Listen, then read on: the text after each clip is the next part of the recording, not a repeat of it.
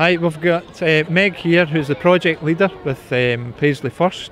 Uh, just going to ask you a couple of questions, if that's okay.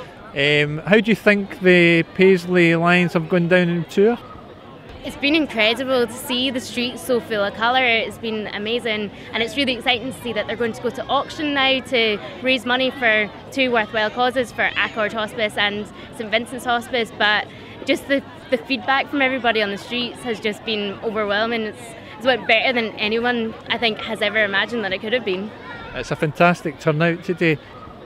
So, what do you think then is the, the next thing for Paisley once the Lions are away?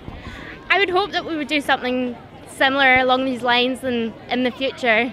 But if anyone's got any ideas, I'm sure we would be take them on board. So hopefully we do something similar again. Okay, so if they've got ideas, how can they get them across? Um, if you just get in touch with Paisley First, any ideas for 2017 events, just ring us in the office or give us an email or go onto our website paisleyfirst.com.